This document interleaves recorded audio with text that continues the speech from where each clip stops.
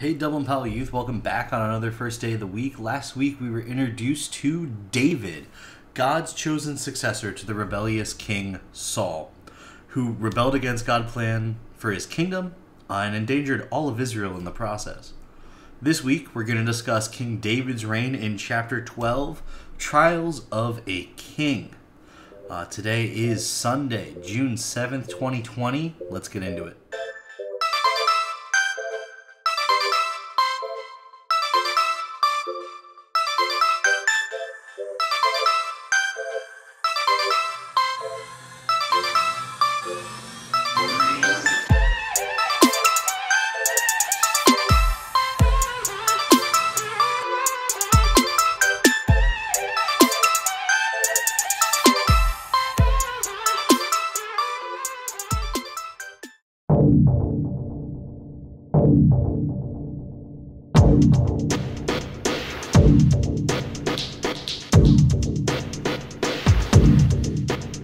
One day, King David was walking around the roof of his palace and saw a woman bathing in her home.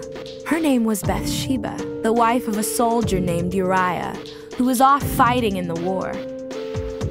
David thought she was beautiful and sent his messengers to get her. They brought her to him, and David and Bathsheba slept with one another. Shortly after, Bathsheba sent word to David that she was pregnant with David's child. To hide what he had done, David quickly devised a plan. He called Uriah back from the war, hoping that he would sleep with Bathsheba and it would look like he had gotten her pregnant. But when Uriah came home, he slept on a mat outside his house because he didn't want to disrespect his fellow soldiers still at war by living comfortably while he was at home. So David came up with another plan. He sent Uriah back to the battlefield and instructed the commander to put Uriah on the front lines of battle where he was most likely to be killed. And that's exactly what happened. Shortly after, David married Bathsheba and she gave birth to their son. But God was unhappy with David and sent Nathan to tell him a story. There were two men, one rich and one poor. The rich man had a very large number of sheep and cattle, but the poor man had nothing except one little lamb who was like a child to him. Now a guest comes to the home of the rich man, but instead of taking one of his own sheep or cattle to prepare a meal, the rich man steals the poor man's one sheep and kills it. David was furious. This man must die for what he has done, David said. Then Nathan said to David, You are the man. David immediately realized how wrong he had been and confessed to Nathan and to God all of the things he had done. Even though God forgave David, there were still terrible consequences because of his actions. David and Bathsheba's infant son became sick and died. Then, years later, their second son, Absalom, did something no one, even David, expected. He gathered an army together to overthrow his father as king. Before the battle began, David gave instructions to his soldiers not to kill Absalom. But during the battle, Absalom was riding a mule under the thick branches of a large oak tree, and his hair got caught in the tree, leaving him hanging as the mule rode away. One of David's commanders, Joab, found Absalom, and despite David's instructions, he and his soldiers drove their spears through Absalom and killed him. Because of this, David was heartbroken. Even after these tragedies, David continued to worship God. He had not forgotten about God's promise to one day build the temple. So David told his son, Solomon, that he was to start building it. In his final days as king, David led the Israelites in worship of God for all of the ways that God had helped them and provided for them over the years. Then, shortly before his death, David handed over his kingship to Solomon.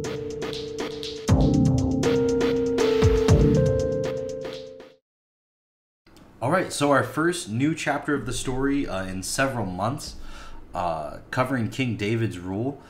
Uh, I want to say right off the bat what our text kind of skips over pretty quickly. um, are some of David's uh, finest years. He's a successful young king. He unites the entire nation of Israel uh, and leads them as, as God's anointed king. In fact, David so sincerely seeks the Lord uh, that God makes him this promise in 2 Samuel 7. I have been with you wherever you have gone, and I have cut off all your enemies from before you. Now I will make your name great, like the names of the greatest men on earth, and I will provide a place for my people Israel, and will plant them so that they can have a home of their own and no longer be disturbed.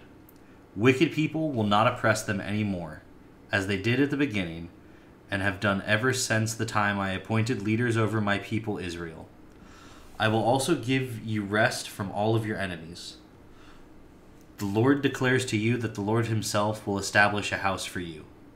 Your house and your kingdom will endure forever before me. Your throne will be established forever. Unfortunately, David did not stay faithful to the Lord throughout his reign. Our text started off this week uh, after the introduction with the idea that something was off. Uh, it says, quoting 2 Samuel 11:1, that in the spring, at the time when kings go off to war, David sent Joab out with the king's men and the whole Israelite army. They destroyed the Ammonites and besieged Rabbah. But David remained in Jerusalem. This David does not seem like the bold young man who chastised the whole Israelite army for allowing Goliath to talk smack and then volunteered to King Saul to face him himself. The rainy season has ended, and armies can effectively march to do battle again. But David sends out his forces to fight the Ammonites and remained in Jerusalem. He is no longer putting his duty to God and his people first, but rather his own desires. He doubles down on serving his own desires when he sees Bathsheba from his rooftop. David was very attracted to her and asked who she was. He was told that she was Bathsheba, daughter of one of David's trusted advisors, and wife to Uriah, one of his loyal officers. David sent for her to be brought to him and took her to his bed. While not much information about the nature of that first interaction is provided in the scriptures, it's safe to say that no woman brought before the king because he desired her was in a position to refuse him. Engaging in sex with someone who cannot say no is rape. And that's exactly what David did with Bathsheba. As a result of her rape at David's hands, Bathsheba became pregnant, and David worked hard to cover up his crimes. Bringing her husband Uriah home to give a report uh, and hoped that he would lay with his wife while he was home, so that the baby could reasonably be thought to be Uriah's. Uriah, however, didn't sleep with her, as the men of Israel, at David's direction, abstained from sex during military campaigns because it made them ritually unclean. Uh, this was first seen in, in 1 Samuel 21.5. Uriah's response, when David suggests he go home and enjoy himself while he's in town, shows a direct contrast between Uriah's actions and David's actions. 2 Samuel 11:11 says, Uriah said to David, "The ark and Israel and Judah are staying in tents, and my commander Joab and my lord's men are camped in the open country. How could I go to my house to eat and drink and make love to my wife? As surely as you live, I will not do such a thing." So David decides to cover up his crime another way.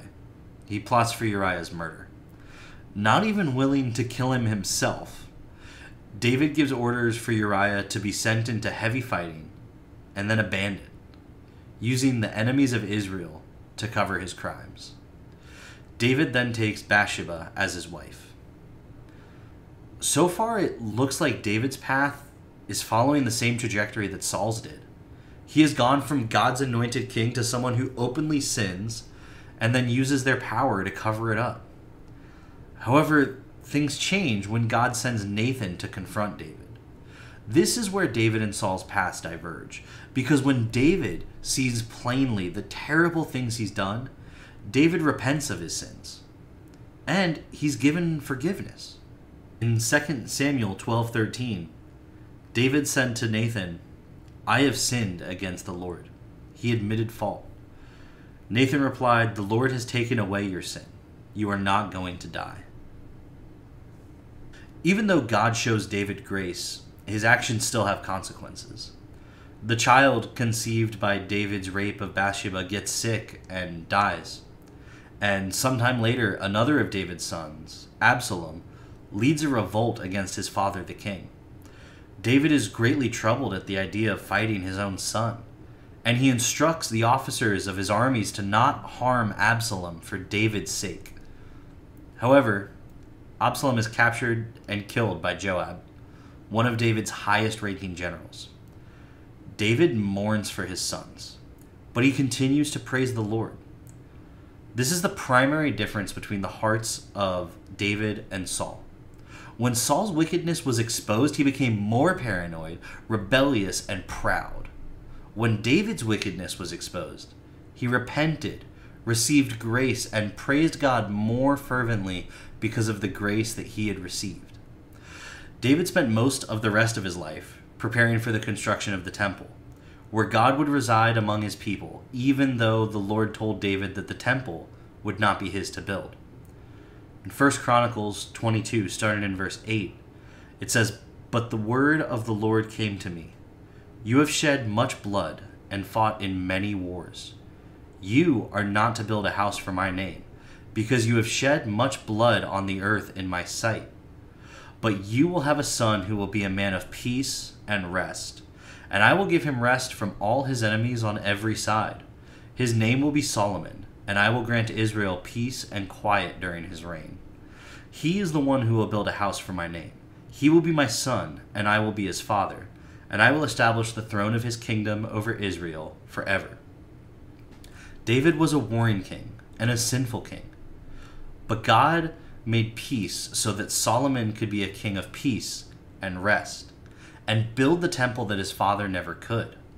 David continued his preparations until he was very near death until his wife Bathsheba told him, It's time.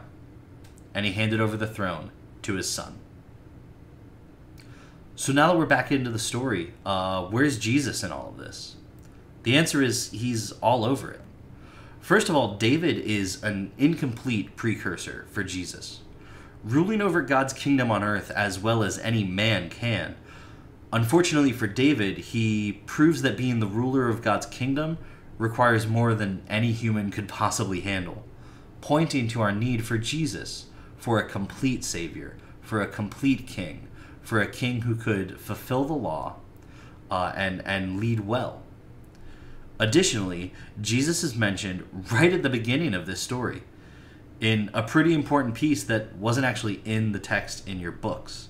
2 Samuel 7:16, like I read, your house and your kingdom will endure forever before me.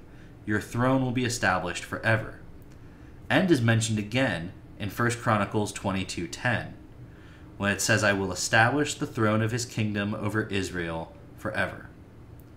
God kept his promise to David, but not in the form of an unbroken Israelite dynasty that rules forever. No, God kept his promise to David through Jesus who came from the house of David and who now and forever rules over God's kingdom. You see, when you go through the whole Bible, it all points to Jesus, the ultimate act of grace, followed by the establishment of God's kingdom, which is for everyone who puts their faith in Him, repents, and is baptized.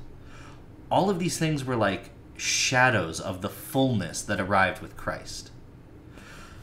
So we saw a lot happen in David's life this week. When he was confronted with his sin, David submitted himself to God and repented. God chose to show mercy and grace to David. And that choice is why David was called a man after God's own heart. Not because he always did the right thing, but because when he saw what he had become, he threw himself on the mercy of the Lord rather than trying to fix things on his own. And next week, we'll be getting into Solomon's reign and see some parallels and some differences to David. I have no new resources this week, but make sure you check out the ones listed in the description that you haven't already. Uh, it's great to be rocking and rolling in our study of the story again. Looking forward to getting into Solomon next week. And let me pray for us before we go. Lord, thank you for your grace. Thank you that we can repent of our sins, and in Jesus' name we can be washed clean. Thank you for Jesus, that he would die on the cross in our place so that we could receive your grace abundantly. Please show us areas in our lives where we are blind to our sin like David was, so that we can repent and come back to you. We pray in Jesus' name. Amen. Thanks again for joining me this week, y'all. It's great to be progressing through the story again. Grace and peace.